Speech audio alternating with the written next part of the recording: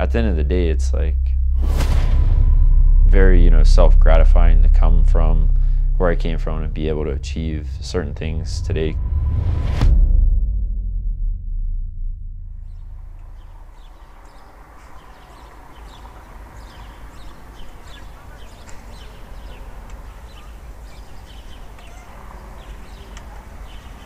I'm a big believer in fate. Stuff happens for a reason. If you really want something bad enough, I mean, you're going to go out there and work hard. You're going to push yourself, and you're going to make it happen no matter what.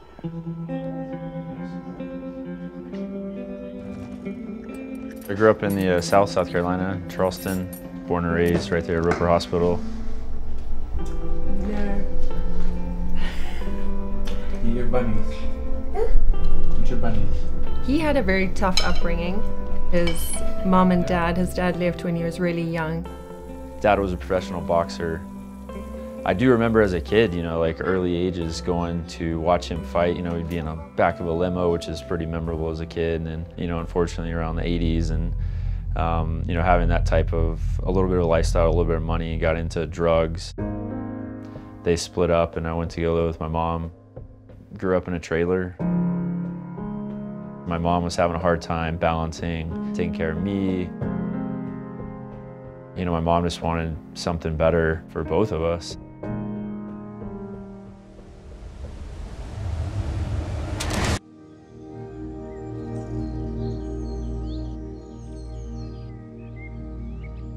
There's uh, Robert when he first came to live with me. That's a cute picture. Yeah, and then when he came that summer, he went to camp. I went back to live with my uncle, and he was just, you know, the biggest influence in my life. Military background, he's one of the only one of my grandma's kids to graduate um, college and get a degree. You know, had his head screwed on. It was at the end of his sixth grade year. I just got out of the army and and was teaching school. My mom called and asked me. Originally, it was kind of going to be a stopgap type of deal. You know, I wanted to to help him, and it didn't play out like that. Robert was with Toby for a year and a half before I came into the picture. And from what I understand, when Robert first came to live with him, he um, basically did not have any direction. Toby was definitely hard on him. I think he had to be. My uncle helped me out. He's my dad. You know, he's you know put forth all the effort. I think he was a great role model for him. He kind of got put on the straight and narrow and started studying.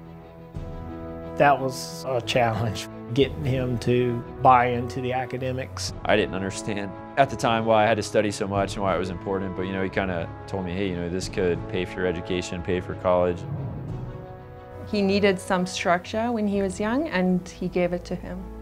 That's when I started getting introduced to sports a little bit, started playing basketball at the church league.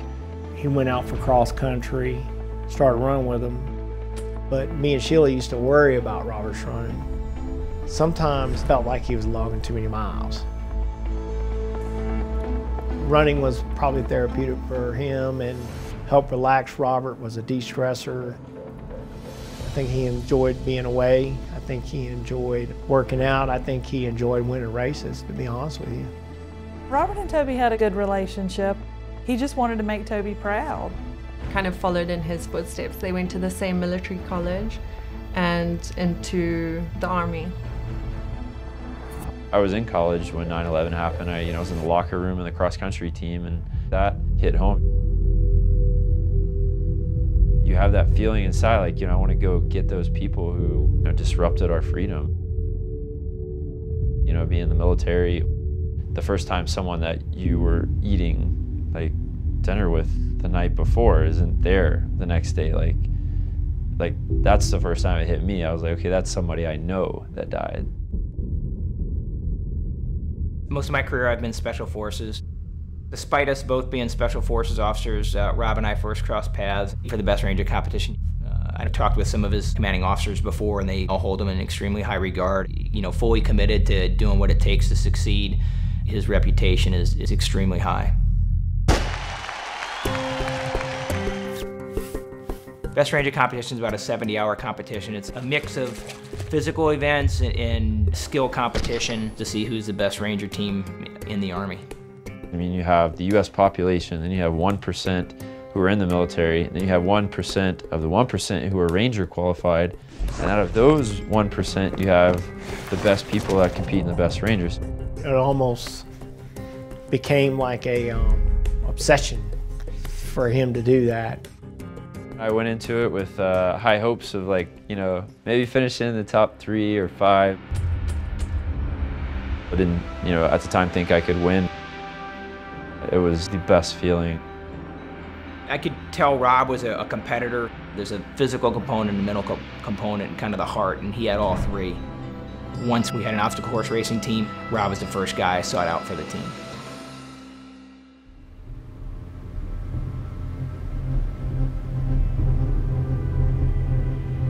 So he called me up and he's like, hey, you know, I, there's this new sport. It's called like obstacle course racing, Spartan race.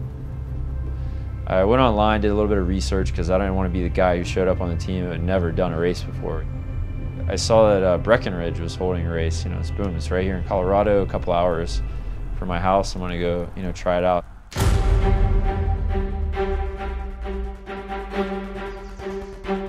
I get to an obstacle, I had no idea, you know, what to do. I was like, all right, monkey bars, just go across. Carried, you know, these big logs. I got done with the race. Um, finished in third. I thought was pretty good. You know, it was the first race I ever done in the elite category. Got a little prize money, and I was like, you know, okay, I can do this. I got out to Tahoe. wanted to continue that, you know, top three finish.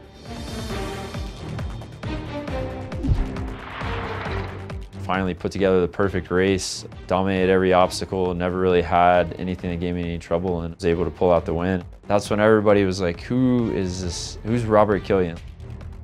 No one comes into obstacle course racing in their first year and is world champion. I think Rob is unique and that's why I sought him out. So I was like, this could be a you know big potential to maybe pursue this professionally.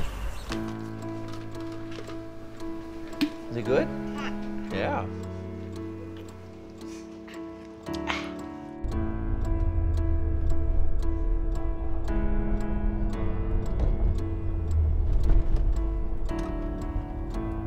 Chris, what are you doing in school today? You don't know. All the roles that Robbie plays in his life, being in the military, um, being a professional athlete, I really do think that he's the best at being a father. Mm, that's a good one, Chris. Try it. Just try it one bite. Robbie's dad left him when he was two. I think he really felt that void. Since being a child, I think he's always thought in his head that he wants to be the best dad that he can be. They're the most important part of my life. They are my life. And I don't want my kids to ever have to, you know, go through what I went through as a child. So I implement that into every decision I make. You know, like, hey, how is this going to affect my family? How is going to affect my kids? Robert's definitely come very far. You know, if, if Toby had not come into his life, he may not have graduated from high school. He may not have gone to college. He definitely not been where he is today. When Toby came into his life as a positive influence, he it just totally changed his direction, his future.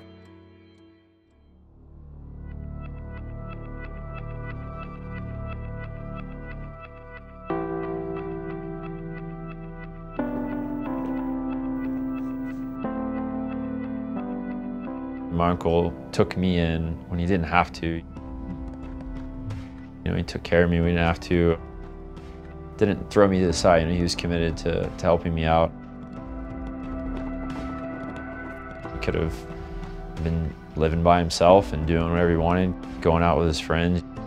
But he decided to take me in, and I don't think there's any way that I could ever pay him back. That's kind of a big driving factor for why I do what I do, to help pay him back.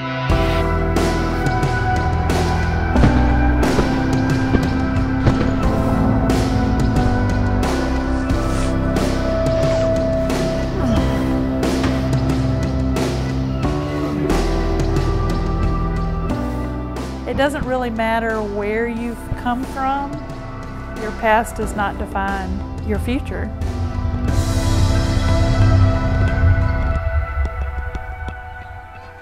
I'm proud of Robert because he's supporting his family. And at the end of the day, that's kind of what a hero is.